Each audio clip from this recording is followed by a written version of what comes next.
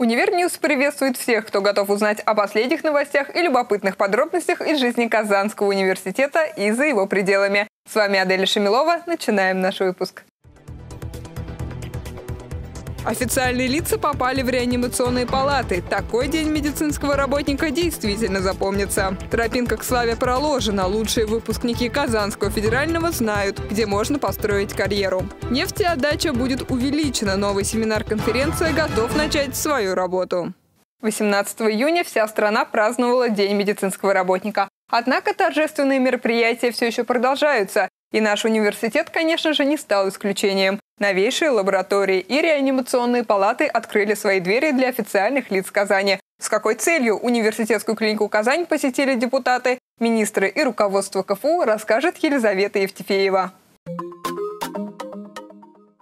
Главный врач университетской клиники «Казань» Альмира Абашев представил официальным лицам Республики Татарстан и представителям КФУ во главе ректора Ишата Гафурова отремонтированное помещение клиники. Среди почетных гостей министр здравоохранения Республики Татарстан Адель Вафин, депутаты Госсовета Республики Татарстан и депутат Госдумы Российской Федерации Фатих Сибгатулин. Обход по клинике начался с приемной, где Альмир Абашев обозначил, что все сделано для комфорта и удобства как для врачей, так и для пациентов. Коридоры и кабинеты расположены таким образом, что обследуемый и специалист клиники не мешают друг другу. Также были продемонстрированы палаты медицинской помощи, современные операционные и реанимационные палаты. А в честь Дня медицинского работника в Институте фундаментальной медицины и биологии КФУ состоялось торжественное заседание, где ректор КФУ Ильшат Гафуров поздравил работников медицины с профессиональным праздником. Поэтому я от души хочу всех вас поздравить с этим профессиональным, замечательным праздником, пожелать всем нам удачи и сказать, что мы с вами на верном пути, поскольку путь оказания содействия продлению жизни, улучшению в целом качества жизни нашего населения, это самый благородный, самый хороший путь, который может себе пожелать любящий себя и свое окружение человек. Бәйрәм белән сезне исәнлек саулык сезгә, озын гомер и гаилә бәхете. Пусть никогда вас не постигает горе отдельно взятой семьи. Елизавета Евсифеева, Ленар Давлетьяров, Univer News. Ученые всего мира продолжают изучать агро- и биотехнологии. Теперь же исследования получат развитие и в Казани. Какую роль в исследованиях сыграют ученые Казанского федерального, узнаем прямо сейчас. 17 июня Ильшат Гафуров подписал соглашение, открывающее новые перспективы совместных исследований. Ректор КФУ обратил внимание зарубежных коллег, что в Татарстане в качестве приоритетных научных направлений исследований обозначены медицина и агротехнологии. Теперь же исследования получат развитие в Казани. Георг Шпренгер согласился с возможностью формирования на базе КФУ совместного исследовательского центра. Подписывая документ, ректор КФУ выразил уверенность, что соглашение уже в ближайшее время будет наполнено реальным содержанием. Тем более, что начало тому уже положено. Адель Шамилова, Univer News.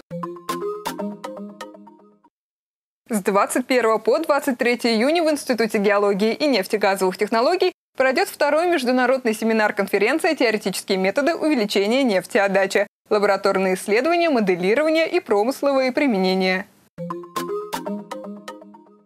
21 июня в Казанском федеральном университете пройдет второй международный семинар-конференция «Теоретические методы увеличения нефтеотдачи, лабораторные исследования, моделирование и промысловые применения». Сегодня э, у нас началось ряд мероприятий, которые посвящены конференции по термическим методам увеличения нефтеотдачи, которая стартует с 21 июня. Официальная программа стартует 21 июня, но мы решили не ждать начала и вот сегодня, 19 июня, у нас проводятся лекции э, известных специалистов в области термических методов увеличения нефтеотдачи. Уже с 21 начинается конгресс, на который приехало более 150 участников, э, практически половина из них из-за рубежа, из Э, ведущих университетов, и эта конференция проводится при поддержке крупных российских нефтяных компаний. Данный семинар-конференция – это отличная площадка для обмена опытом и представления самых последних результатов ведущими специалистами из нефтяной индустрии, университетов и научных центров. Для Казанского федерального университета эта конференция очень важна, поскольку одно из стратегических направлений э, является как раз нефтедобыча, нефтепереработка, нефтехимия. Эта конференция посвящена, так сказать, новому, новый, новым методам повышения нефтеотдачи, который сейчас активно развивается в мире, и Казанский университет активно работает и имеет проекты в этой области. Официальное открытие состоится 21 июня в зале попечительского совета Казанского федерального университета. Диана Шилова, Владислав Михневский, Univer News. Насколько реально за считанные минуты раскрыть секреты успешной карьеры и предупредить о сложностях профессионального пути? Герои нашего следующего сюжета уже знают ответ на этот вопрос. Узнай ты. Лично познакомиться с самыми успешными выпускниками Казанского университета стало проще, чем кажется. Именно поэтому интерес студентов к серии мероприятий «Мост» продолжает стремительно расти. Воочию увидеть именитых специалистов, задать все интересующие вопросы и получить ценные советы ребята смогли на третьей встрече с успешными выпускниками Казанского федерального. Это просто бесценная возможность для студентов познакомиться с такими интересными людьми. И тем более, когда эти люди готовы делиться своими знаниями, делиться своими своими контактами. Уже по традиции организаторы пригласили гостей из разных сфер, которые особенно сильно интересуют современную молодежь, а именно бизнес, творчество, кино и наука. Например, первое выступление Радмилы Хаковой, выпускницы факультета журналистики и автора книг «147 свиданий», затронуло опыт достижения успеха в творческой профессии. А презентацию своего кейса Радмила посвятила обязательным составляющим карьеры писателя. А далее следующий выпускник КФУ, обучившийся на экономиста Михаил Чернов, рассказал, каким сложным бывает путь в большой бизнес. Очень интересный формат. Э, честно говоря, я думал, будет меньше слушателей. Э, это превзошло мои ожидания. А, мне было не только интересно выступить, но интересно послушать других э, выпускников. Очень достойный формат. Продолжила встречу арт-директор кинотеатра «Мир». Альбина Нафигова поделилась простой, но очень мудрой схемой для успешной работы в киноиндустрии. Кино очень живой, на самом деле, организм, я считаю. Там очень много людей, которые, в принципе, не заканчивали, например, или не сразу пришли в кино. Чтобы быть режиссером, там молодых вообще не берут. Говорят, да, наберитесь жизненного опыта. Очень многие даже из-за этого поступают на актерское, вот как Кирилл Плетнев, а уже потом становятся режиссером, потому что слишком молодым его не взяли. Завершил встречу Михаил Варфоломеев, химик и председатель Ассоциации молодых ученых КФУ. Единственный, кто работает в стенах родного университета и является настоящим патриотом родного института. В своем докладе спикер затронул ценность обмена опыта между странами. Ну, мне кажется, что у нас есть э, успешная научная группа и научное направление, которое мы сейчас развиваем. Э, есть определенные достижения в науке, вот, и есть определенные достижения в общественной деятельности. Э, сейчас я возглавляю Ассоциацию молодых ученых Казанского университета. До этого мы занимались проблемой молодых ученых на городском уровне.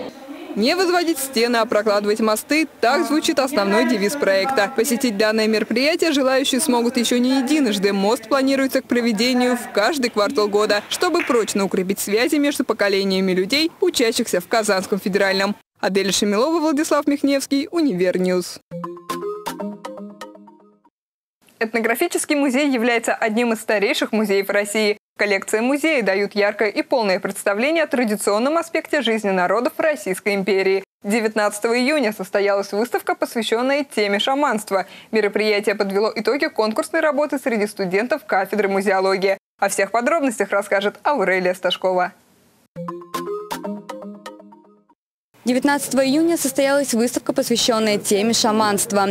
Мероприятие подвело итоги конкурсной работы среди студентов кафедры музеологии.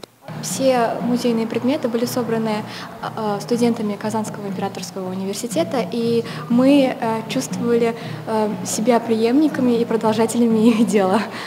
Шаманский костюм – это целый мир отображения Вселенной, в которой живет шаман. Здесь каждая деталь имеет значение. Ленты – бескровное жертвоприношение духом, изображение из латуни и железа – защита, изображение животных – благодарность, Точный возраст экспонатов узнать очень сложно. Большинство из них относятся к середине XIX века. Была предложена тема «Традиционные верования народов Сибири», в центре которых, конечно же, находится знаковая фигура шамана. Все студенты молодцы, все, кто участвовал, они действительно в будущем будут э, востребованы, квалифицированными, профессиональными работниками. Аурелия Сташкова, Роман Самарин, Univer News. Это были все новости на сегодня. Еще больше подробностей самых интересных студенческих событий вы можете увидеть в наших социальных сетях. С вами была Адель Шамилова. До новых встреч! Thank